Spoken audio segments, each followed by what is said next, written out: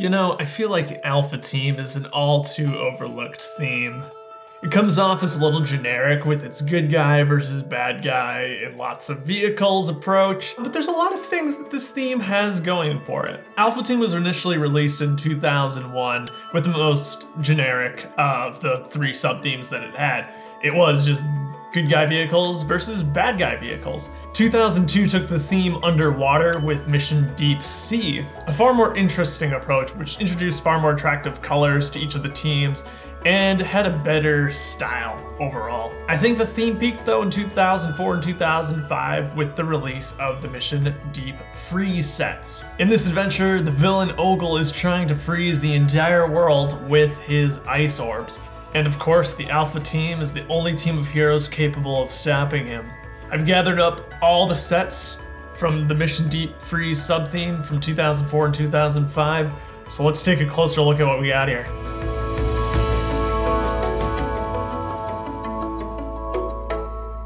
The thing that's immediately going to stand out to you about this theme is the color scheme, which is predominantly sand blue for the good guys and dark red and black for the bad guys. Obviously, all this these cool blues really sell the ice frozen theme very well. 2004, mind you, is also the first year that the new light bluish gray was introduced a cooler version of gray. fits the theme very well. It surprises me that nothing has really made use of this same color scheme. Agents from 2007?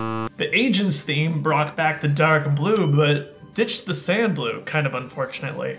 I think the sand blue here is really what makes this theme memorable, and it's where we get a ton of those unique pieces that I love to talk about way too much. Alpha Team gave us a total of eight sets across two years, six sets in 2004, and two sets in 2005. And unfortunately, we never heard from Alpha Team ever again. They must have defeated Ogel forever. GG, boys. This was one of my first themes as a kid. That's why I have all the sets. These are all my childhood sets that I shared with my brother. And it was so awesome to bring these back for the first time in a very, very long time.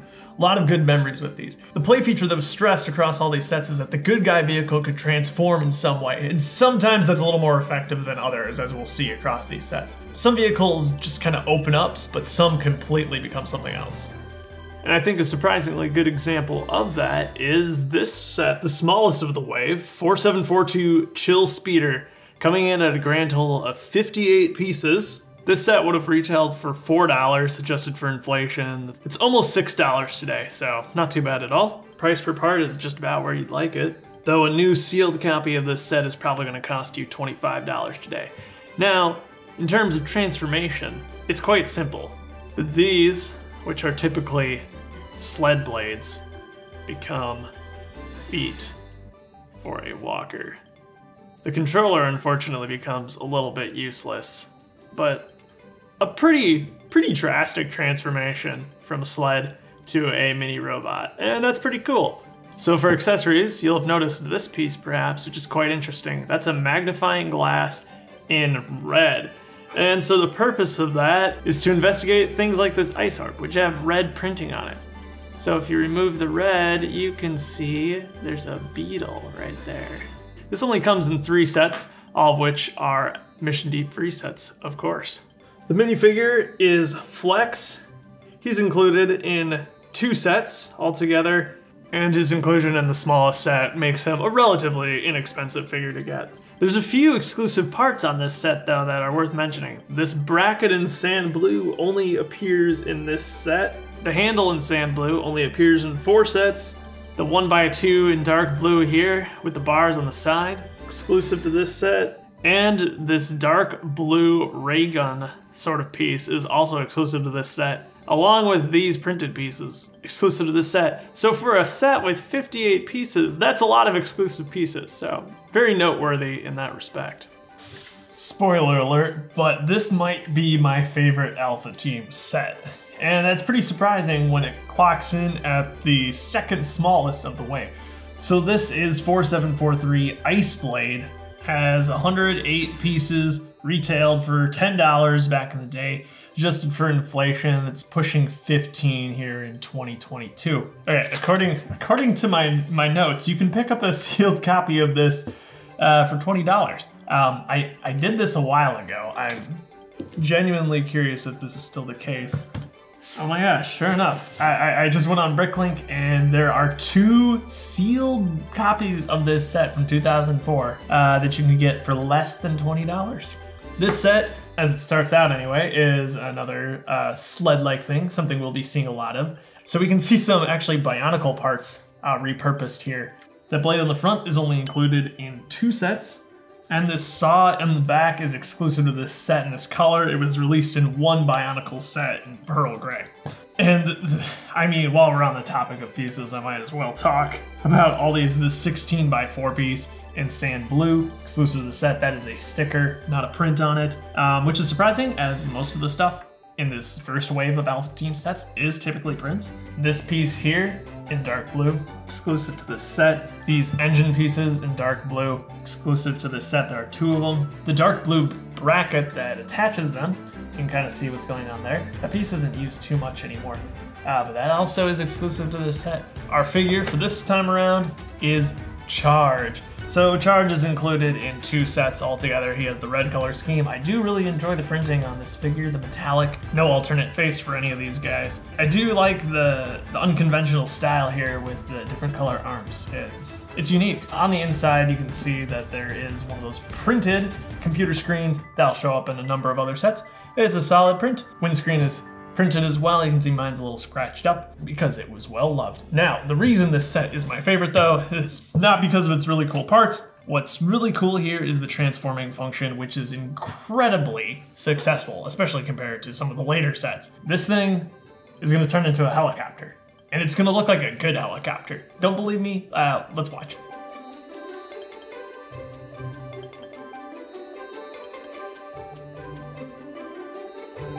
Look at it. That that is incredible. Yeah, my, my mind is blown by this thing. It's really, really effective use of not that many parts. Definitely the strongest transformation of the theme, and therefore, in my opinion, probably the most successful successful set of Mission Deep Freeze. And to reverse that real fast,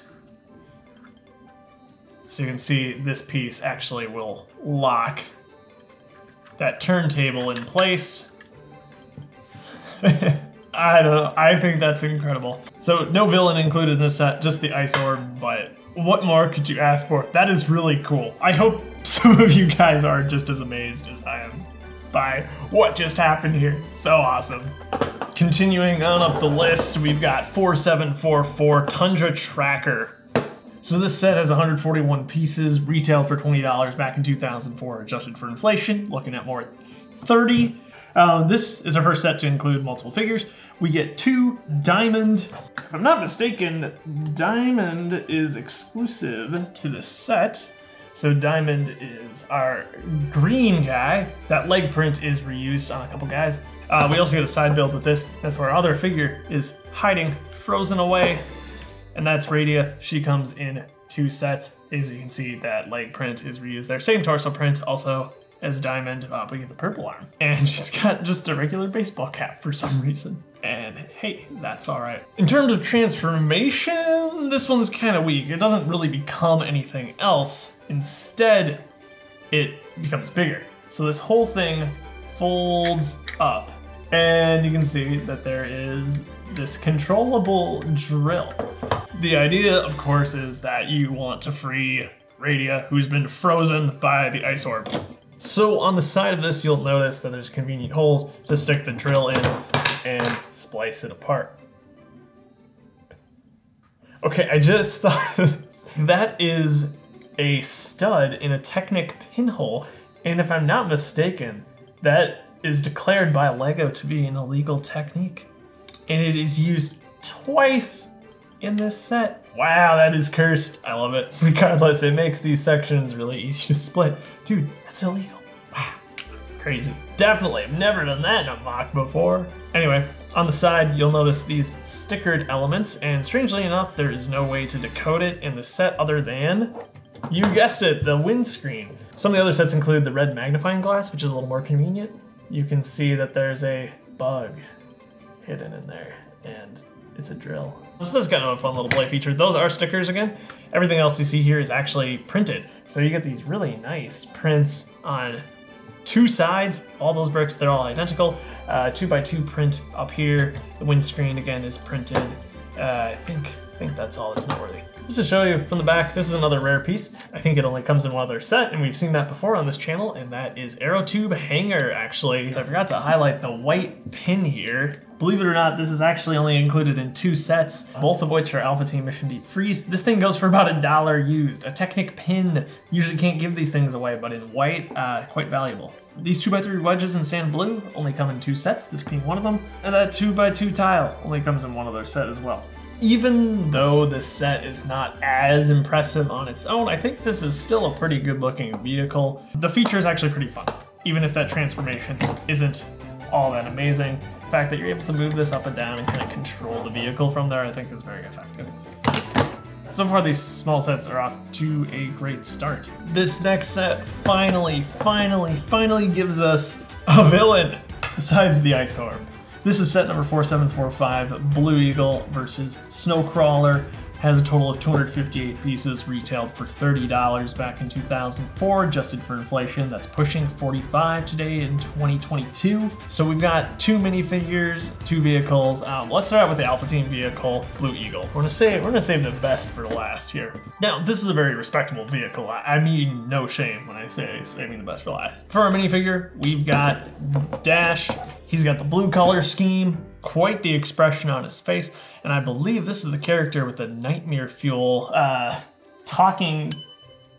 Yeah, that. So in the set, he fits pretty snugly into the cockpit here. We've got another one of these wonderful printed console pieces, and that closes right on top. This is the other two by two printed tile. These are also prints, uh, though on the side of the cockpit, those are stickers you can see from the aerial shot there. Uh, peeling a little bit, uh, it, it's well loved, what can I say? So this actually does have a bit of transformation going for it, which is super exciting. The wings can bend in, and the neck of the craft can bend down, and it becomes, believe it or not, yet another sled-like vehicle. Uh, the skates here in sand blue are definitely exclusive to this set. There is another play feature here, uh, which you might have noticed with this knob here, which is pretty cool. And that ties us back into the snow crawler. So the snow crawler has this sticky uppy bit, if you will.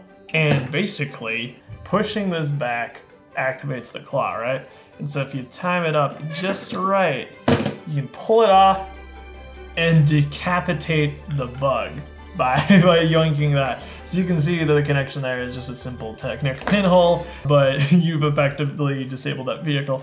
I've got to tell you, that's a pretty fun, pretty fun feature. It's accomplished using a rubber band back there uh, that helps it lock into place. So that's pretty cool. Really, really sweet vehicle. I do wish we would have got more. It's following up on what Insectoids could have been, you know? Obviously, there's a lot of inspiration drawn from that theme, also seen within the Ogel Minion figure, the first one. Finally, we're getting one. We'll see plenty more throughout this sub-theme. He uses that Insectoids helmet recolored in trans medium blue with that terrifying skull underneath. He's actually very similar to the previous iterations of the Ogel Minion, but I think this is the best one. The vehicle itself is very insect-like. We get the, the leg piece back here in black, which is really cool to see used to great effect. The feet for the insect are awesome, uh, using that Bionicle eye in trans medium blue. We've got a printed 1x2 tile up here. Yes, that's a print. That's included in one other set. We got the, the bad guy console here, uh, 2x2 tile. These windscreens in dark red, exclusive to the set. This is all a print, which is really, really funky, really overkill, honestly, for this set awesome stuff all around. Uh, I love the design of this thing. The, the, legs do move back and forth. They don't move up or down or anything, um, but you do get some movement in the wings. The claw moves up and down. You hold a wiggle there. This moves up and down. Great stuff. So this does move up to get out of the way for the feature of the set. So you can plop an ice orb back there and using this little lever here, flies out. This is a really good set. Transformation, little weak, bad guy stuff, really, really strong. Let's take a look at the next set. All right, this set finally has enough figures to justify bringing out the stand. It's also got two ice orbs, side build, but we all came here for the main feature, which is the mobile command center. Yes, this is set number 4746 mobile command center. 426 pieces we're looking at here, retailing for $50, adjusted for inflation, almost 75. Yeah, we're getting to the big boys now. Let's take a look at the minifigures first. We've got Charge again, who we've seen. We've got Arrow, first time we're seeing him in the lineup. He's got quite the interesting face print there with a, a futuristic monocle. Radia again makes appearance. And the biggest disappointment, perhaps of this entire sub-theme, the Alpha Team Android. Now, this guy is a replacement for TV. TV, who had so much life and imagination and fun. Now we get this. Like, don't get me wrong, the prints are cool. It's fun to get a turquoise arm, probably the last appearance of turquoise until it was rebooted just a few years ago. And yes, mine's terribly chewed up. I'm sorry about that. Compare this to what we got in Mission Deep Sea. It's a bit of a letdown. Makes me sad for all the things they could have done to make give us a cute little side character, and we we get this guy. I don't know. And thankfully we get another Ogel minion in the set. So that's our figure lineup. Two Ice Orbs is great. So we do get a side build in this set. Much like Tundra Tracker, it's a place to freeze a minifigure. I didn't draw enough attention to these pieces. They're really cool. Uh, so we get the the dual plastic in there, a mix of white with the transmedium blue. It's a really, really cool effect. I'll be totally honest with you, I don't really care for this. The transformation function is kind of lame. Maybe it's just because we're spoiled with a lot of these HQ sets kind of in the city. You get a lot of the police uh, transforming headquarters. The function of this set to spit out these doesn't really work all that well. And I don't think it looks as good as some of the other vehicles. It's so blocky when we've gotten all sorts of these really nice rounded edges in the past. And I know it kind of has to be that way, but they could have done something. It's, it's definitely a mixed bag. This is a surprise to probably no one. Opening this thing up reveals the base. That's pretty much the extent of the transformation. The backbone of this vehicle becomes a crane uh, from which you can safely lift the ice orbs. Also note that the red magnifying glass is making an appearance here, which is a welcome addition for sure. The inside itself, there's plenty of space in here, which I do appreciate. We got a few interesting things. We've got some telephone prints here, there's two of them. The familiar 2x2 print. Both sides of the walls feature some prints, and also just oh, exposed studs for some reason. Yeah, and there's various tools and things all around. The set does include one action feature as well. It's that you can get two sleds to split off from the main vehicle. By trying to hit these very obnoxiously placed actuators. They're way underneath the front. It's finicky at best, but I do like the two sleds that you get. Sticker on the front, and each has room for a minifigure, and maybe if you get creative, a few more. So we got a cannon, of course. See if I can hit the lens. Ah, that's okay. And uh, up in the front, you do get another printed console piece, and there's room for one figure in there. For the price of this thing, I, I wish it could be something more. They could have really gone all out on making this transform into something amazing. Not just a box, a big blue box that opens up, and two little sleds, which are cute by the way, that pop out. It's fine. It's fine for what it is. It's stable. It's it's bulky. It feels like a mobile HQ, but I would have loved to have seen a proper base instead of this, or a better vehicle that transformed. So this is the flagship set of the Wave. Ogel's Mountain Fortress. Might as well start with the facts of this set. Uh, so this is set number 4748, Ogel's Mountain Fortress. 436 pieces. Largest set, yes. So retailed for $78, adjusted for inflation, that's 102. So yeah, 430 some pieces for $100. Uh, not pretty, but you gotta remember, there, there's some cool things going on here. A lot of big pieces, first of all, including the specialized base plate, of course, exclusive to the set. That base plate is cool. However, what LEGO put on top of it isn't quite it. There have been three sub-themes of Alpha Team, right? And all of them have had Ogel's base. And the first one was whatever, it, it's fine. I really like the second underwater base though. And I, you want to see great things from this one. And I think the angle you're looking at it now, it's fine. But as soon as I rotate this thing, you, you realize the problem. You have paid $100 for a wall. A, a wall. That That is what this is. It is a cool looking wall. There's not a lot of substance to the set. I'm getting ahead of myself. Let's talk about these figures, because there are some wins going on here. We get some familiar faces, Dash, Arrow, Ogel Minion. This Ogel Minion actually has a Buzzsaw in Transmedium Blue, which is awesome. There are actually two more of those Buzzsaws included in this set. We'll get to that very, very soon. And we get Ogel himself. So Ogel is almost exactly the same as he appeared in the last sub-theme, Mission Deep Freeze. The only difference is that he has that Transmedium Blue hook, exclusive to this set, quite a valuable part because of it. Simple as he is, there's no printing on the legs or torso. I think he looks great. So there's two vehicles, Ogel's insect-like thing, and I love that they really embrace the, the insect theme. The other two saw blades are used here. They're easy enough to take off and give to figures. I prefer to have an army of those guys holding them. Little propeller on the back, but the idea is that this is Ogel's personal ship. He can sit in there. There's a control panel, you know. Really simple also for the Alpha team. Transformation time, right? Uh, th this one can bend, and that's that's about the extent to which it can bend. The idea is that you can shoot off this uh, cannon in the back, right? Um, and there's actually a play feature. Uh, we can try to make it work. So first of all, the lever that you have to press is on the inside, so you have to open the canopy. And then what you want to do is aim for this. And there's supposed to be a sticker there. Um, ta-da, sticker. I gotta come in front to do this. All right, let's go. That was a great shot. Obviously it didn't work. But what's supposed to happen is you hit that, and that allows that to pop up. Get everything real, real loose. Round two.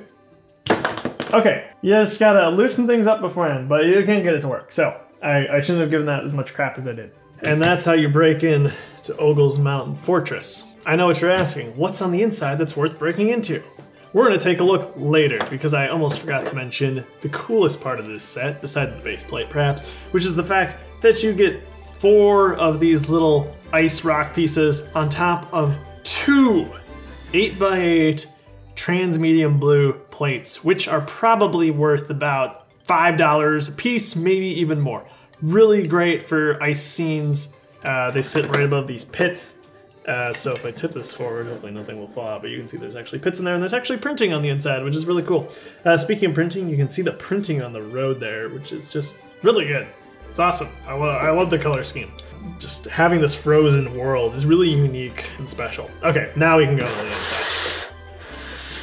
The inside, woo! Uh, we've got a crane making use again of those Bionicle claws. It can pick up and move ice orbs around, and there's a number of places that they can go. I don't know what this is. I have always viewed it as like Ogel's meditation chamber. It's like this slightly lowered pit in the ground. There's really no good way to show it. It's like his throne. He sits down there and broods. Cool, I guess. Uh, it exists. Right up here is maybe a place where we'd want to plop an ice orb to study it. I don't know why these guys are studying it. Ogel made them, after all, but there is a, a, magnifying glass that you can look out on it. This is just graded off. That basically serves as a landing pad for the flyer. Otherwise, not too much going on down here. There are some stations that can be removed. This one is the other set that includes the 1x2 print there. It's got the inside of an ice orb, like they're kind of creating one. That just loosely slides into the back of the, the burp, the big ugly rock piece. Oh, I almost forgot. There's actually something quite charming on this. It's this sinister, evil looking 2x2 computer screen there, coupled with this old school QWERTY keyboard print. That's good stuff. You gotta love that. Uh, this might have been one of the last uses of that specific print before they got a little more modern one. Uh, bear in mind, this is 2004, so it's probably still pretty accurate. These can also be swapped around. One could go up here, for example. Second floor. Um, well, there's there's nothing there's nothing there. Yeah, that's that's it. We do have these catapults up front for launching ice orbs, uh, dropping them more accurately. Flagship set. it's just, it's just a wall. It looks cool. It's a, I, I like the skull look that they were trying to bring back. I don't know. There's just so much that could have been done with this raised base plate. There had to be something more than this. However, I, I do like the pieces that are here. There's a number of ones that are remarkable. So these flame pieces in black that are used for the gate are actually exclusive to this set, makes them a little hard to come by. I was actually missing all of them, I'm pretty sure. I gave them to a friend who liked Bionicle, uh, thinking I would never use them again, but I had to pick them up. This dark red fence barrier piece is also exclusive to the set. There's three of them, there's one included in the interior as well. Thick with two C's handle is a note I left to myself about a rare piece. Thick with two C's handle. What would be a thick handle? Thick handle. What? Both of the antenna included in this set, the the shorter one and the taller one, are exclusive to this set in transmedium blue. So you get two of the tall one and you get four of this one, which is pretty cool. They make really fun icicles. Yes, overall, this is a very, very mixed bag. We've got a lot of cool parts, but it just comes together to create that. And when they put this on the box art, you know, it looks really intimidating and really cool. But then when you realize that's it, you saw the entire set from the front. There's really nothing that it's offering back here. It does seem like as we got larger sets, the quality went down. If only there was another wave to this sub theme that could restart things for them. And introducing Wave 2 of Mission Deep Freeze. So starting off, we've got set number 4774 Scorpion Orb Launcher. And believe it or not, all of this would have retailed for $20 in 2004, even adjusted for inflation. What, that's about 30? It's not all that crazy. Big substantial set. Seems like things are off to a good start. Following kind of the insect theme, we've got a scorpion this time around. But I'll let it slide. But we'll we'll get to that in a second. We've got we've got a good guy vehicle too. Not a lot of transforming happening here. It is simply a glider, but there are still some notable elements here in that this Forlong bar in sand blue is exclusive to this set. Quite a rare piece, really funny. Also exclusive are the battle droid arms as well. 17 parts? and four of those pieces uh, are not included in any other sets. So dangling below there is Flex. He's got some skis. We've seen him before in the smallest set. We got onto the Scorpion Orb Launcher itself. So I need to highlight the figure here because that is an exclusive figure. It's a super ice drone. It is the, the next evolution of Ogel Minion. He features a unique torso print and a unique skull headpiece in black. Would have been really awesome to have gotten more of these if the theme had continued on, but unfortunately, there were only two sets released in the second wave, and that was it. He does go for a fair amount on the aftermarket, but because he's cool. So his cockpit is also quite fancy. Features these two trans medium blue windscreen. It's also exclusive to this set and then a larger glass piece over the top. I, I, really like all the glass, the visibility going on there. Uh, it's really nice. We've got grabbers up front. These, of course, can grab more ice orbs. We've got six posable legs, which is awesome. In the back, also this piece is also exclusive. Very cool. We have room for two ice orbs. And this is the Scorpion Orb Launcher. So it does what you might expect. There's a rubber band attached here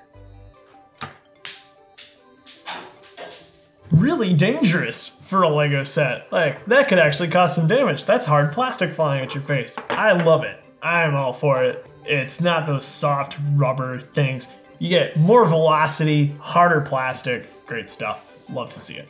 It's a simple set, you know, at the end of the day, but it's nice to still see more of those exclusive pieces. There's not as many prints um, in this set as the other sets had. It's just that 2x2 tile, but the bad guy vehicles are epic, and so it's really nice to get another one. And that brings us to our last set, 4770 Blizzard Blaster. Total of 303 pieces here, retailed for $30, adjusted for inflation again, that's more like 45. We've got two minifigures in this set. We've got a regular Ogel Minion, not one of the elite ice drones, and then we have Zed. And if you're like me, you're probably wondering, who the heck is Zed? This is Zed's first appearance, and surprisingly, according to the LEGO Club magazine at least, he becomes the hero of this entire chapter of the Alpha Team saga. He and the Blizzard Blaster are unable to be frozen by ice orbs, and while the rest of the Alpha Team gets frozen, Zed is perfectly fine and is able to rescue everybody, and they defeat Ogel once and for all. I, mean, to be totally honest, that's a pretty lame story that this rando guy who doesn't even look like the rest of the Alpha team. I mean, note that he doesn't have like that unique arm color. There's no unique color that's associated with his vehicle. He's just very generic.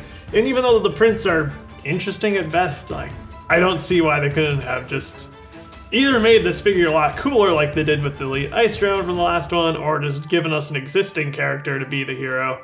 It's a little to no consequence, but it made me upsetty spaghetti, so I thought I would tell you that it did so. All that being said, I, I do like this set. I mean, for $30, it feels pretty substantial uh, for something in the day. Both of these last two sets uh, feel good. Even for 45 today, it's not not bad.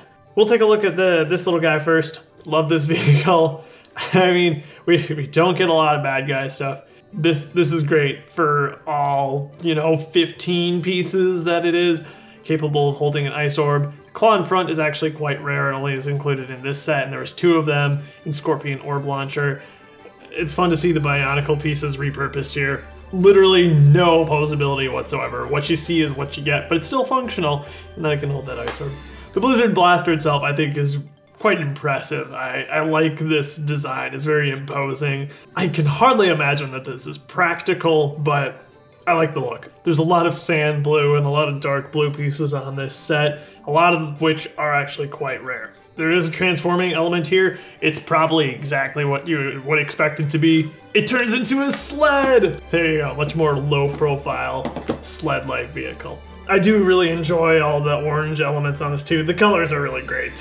What you see on the side here are stickers, not prints, which is unusual because they had printed these in the first wave. Uh, this still is a print of the cockpit piece. But there's actually no printed console piece on the inside, which is quite unusual, since even Scorpion Orb Launcher uh, had a printed console piece. So, who knows? But that's all for this one. Let's take a look at everybody back together.